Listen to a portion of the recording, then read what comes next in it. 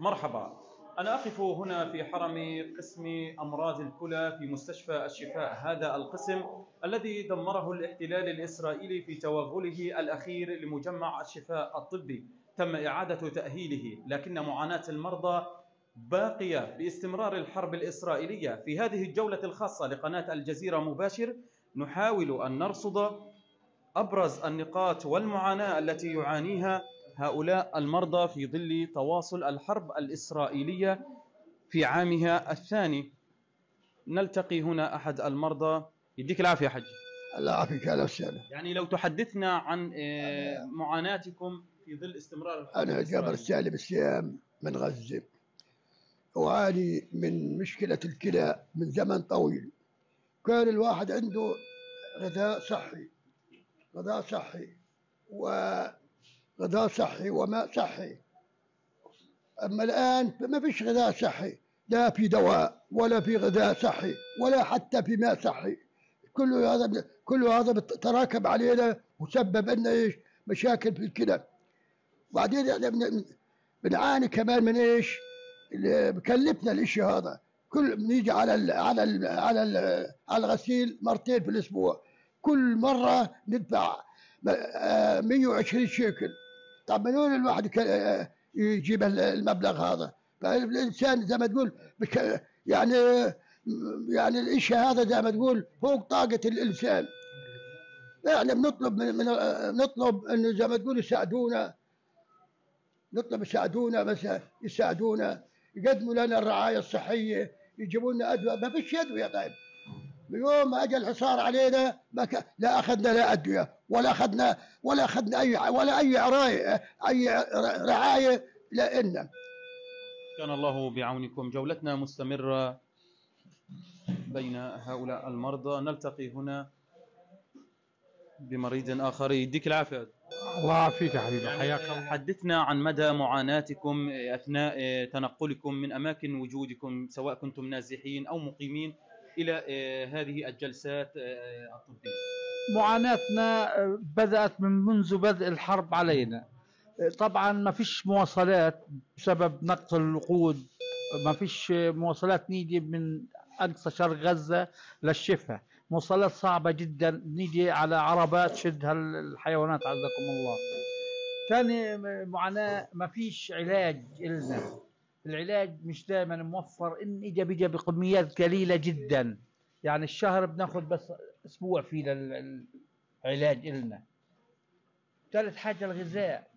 ما مش فيش أي غذاء صحي إلنا. اللي موجود معلبات والمعلبات ممنوعة إلنا نهائي ناكلها. إحنا مرضى الكلى. عشان كده إحنا بنعاني من كل إشي موجود في بظل بالنسبة لأعداد لعدد الجلسات هل تم تخفيض الأعداد بسبب نعم التكدس؟ صحيح نعم صحيح بقينا نغسل ثلاث مرات في الأسبوع لقيت بنغسل مرتين طيب بالنسبة للأغذية للشراب ل... يعني ما مدى. كيف يؤثر هذا النقص عليكم بشكل سلبي سواء كان الأغذية الواجب توافرها آه، الطعام الشراب حدثني عن هذه المعاناة. والله ب- بيأثر جدا علينا. أنا كمريض بقى وزني 90 كيلو اليوم أنا 78 كيلو. طبعا هذا من قلة الأغذية. ما فيش أغذية صحية فيش أغذية تقدر تقاوم فيها على الحياة. نزل, نزل وزني 13 كيلو أكثر من 13 كيلو نزل وزني أنا اليوم. آه، يعني من قلة الغذاء وقلة ال- الحاجات المفيدة لنا أو إحنا بلزمنا غذاء خصوصي كمرضى كلى لكن مش موجود. كان الله بعونكم جولتنا مستمرة.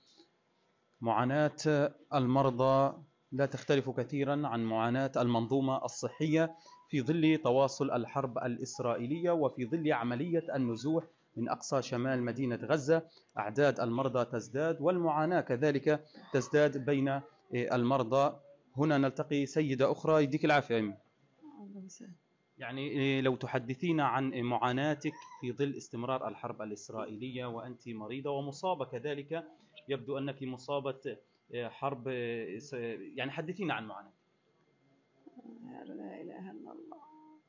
إحنا في أجواء حرب ومريضة كلى وقلنا الحمد لله. كمان إصابة والعلاج مقطوع عنا. فيش غذاء. كيف بدنا نطيب يعني شو أبرز المعاناة اللي بتعانيها يا أمي؟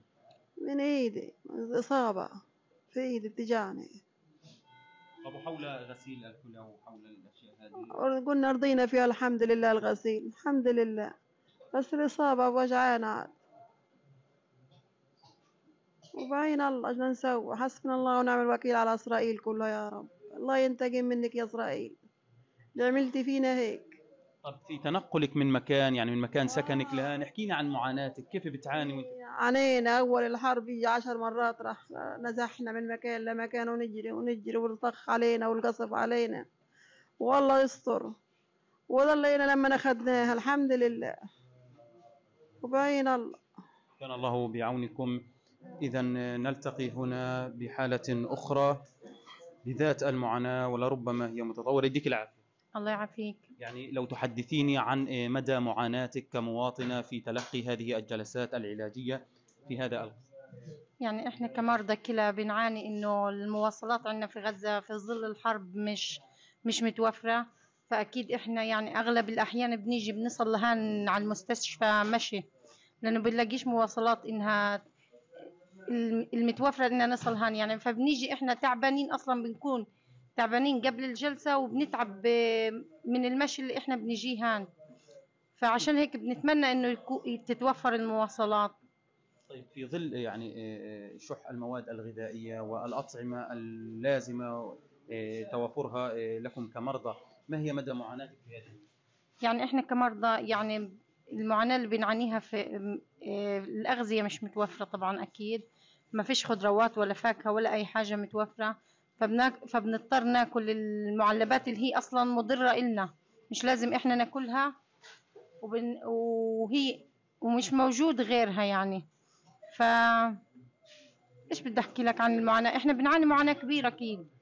فإن شاء الله يعني تنحل الدنيا وتخلص هذه الحرب ويرجع يتوفر كل إشي ون...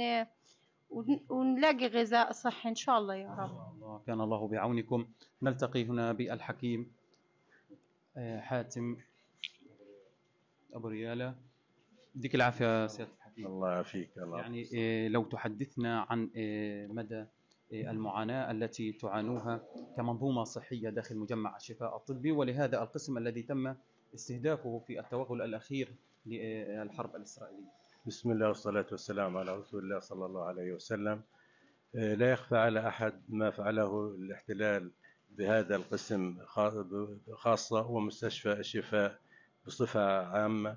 فمما أدى إلى معاناة المرضى وقد آه، امتنعوا عن الغسيل لمدة تزيد عن آه، 30 إلى 40 يوم. ولكن الحمد لله بمجهودات الناس المخلصين من هذا الشعب تم الحمد لله استصلاح هذا القسم وتم العمل في القسم من جديد. هذا لا يعني أن المعاناة انتهت في هذا القسم حيث أن نحتاج إلى محطة توليد المياه ولأنه عملية الغسيل تعتمد على مياه خالية من الأملاح وقد تم تدمير محطة المياه في القسم وإن شاء الله يتم إصلاحها. كما أن آه، لا يخفى على أحد نقص الوقود آه، والآن المستشفى تعمل بالمولدات وكثير من الأحيان يتم قطع الكهرباء بسبب آه، إما سوء المولدات أو قلة توفر آه، الوقود إيه، سواء- المعاناة. إذا إذا ما انقطعت الكهرباء كيف يؤثر هذا سلبا على آه، الحالة الصحية؟